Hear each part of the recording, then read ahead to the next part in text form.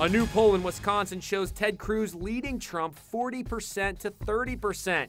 John Kasich trails with 21%. The Ohio governor is in New York today where he defended eating pizza with a fork and a knife at Gino's Pizzeria in Queens. The pizza came scalding hot, okay? And so I use a little fork. You know what, my wife, who's on a spring break with my daughters, you know what she said? I'm proud of you. You finally learned how to use a utensil properly. And there was this moment with Cruz appearing on Jimmy Kimmel last night. If I were in my car and getting ready to reverse and saw Donald in the backup camera, I'm not confident which pedal I put.